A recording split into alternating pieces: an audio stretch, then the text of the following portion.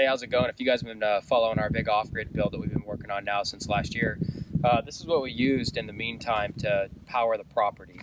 Uh, this powered the guest house, it powered all the internet because we're quite out here quite a ways, and uh, this gave us some pretty decent power. And what we actually hooked this to is a VSP power unit.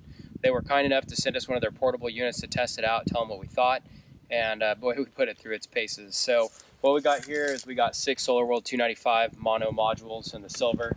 Um, we got them uh, wired up in uh, strings of two series of twos and three, and there's three parallel strings. Uh, and then what we did is we ran that back through a conduit into our inverter. Uh, they got MC3 connectors, or I'm sorry, MC4, and uh, just plug them in and it's all internally fused after that. So we'll take you back there and show you what we got.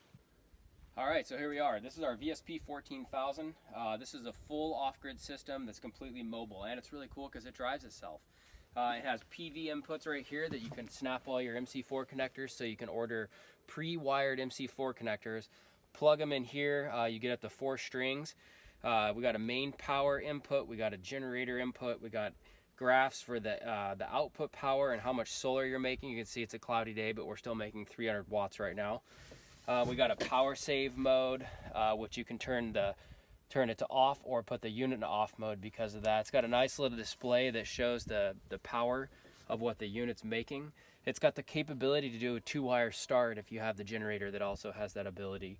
It has both 120 and 240 volt AC outputs, so it makes it a pretty pretty handy unit for people to get a, a beginner off-grid system that's completely portable and can also be charged by a 124 120 volt generator. So I got to say that we've used this now for probably the past seven months to power the project and really it's worked pretty flawlessly. So I got to tell people uh, if you want to get a, a pretty mobile off-grid solution that's easy for people to hook up, this would be a pretty great unit to use. And I can only say that because we've been just torturing this thing. So VSP 14000, have a good day.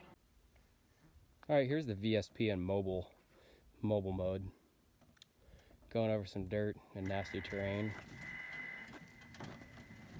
It doesn't like really soft dirt, but taking it down the compacted, even bumpy area seems to be doing pretty good.